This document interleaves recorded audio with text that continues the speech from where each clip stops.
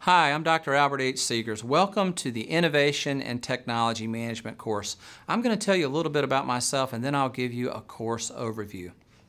I'm the RBC Bank Professor here at the University of North Carolina at Chapel Hill's Kenan Flagler Business School. I'm also the chairperson of the Entrepreneurship and Strategy faculty here within the school. We have a great group, a lot of good academics that not only do research uh, in the academic circles, but we're also very active in the business and practitioner circles. So uh, we're very proud of our group and proud of what we do here. And I think you'll see that uh, in this course and others that you take that are staffed by our faculty.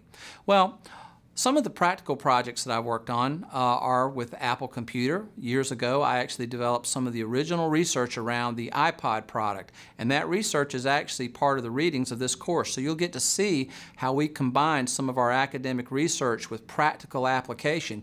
And in fact, that piece of research goes really, really neatly into the trend analysis that we'll talk about later on in the course. I've worked with Disney, Pixar, the Atlanta Braves, uh, Cartoon Network, which is one of my favorite consulting jobs, uh, CNN, uh, Cirque du Soleil, ESPN. And I tell you that to tell you this. For these companies, they're always on innovation hunts. Yes, even Cirque du Soleil is looking for more innovative ways to put on shows and to extend their craft. And what I do for them is help them come up with these unique opportunities in the marketplace. What I'm going to give to you are the tools and techniques that I use with these companies to help them be more innovative. Beyond what I've done in the corporate world, I've also had a lot of experience in the world of entrepreneurship.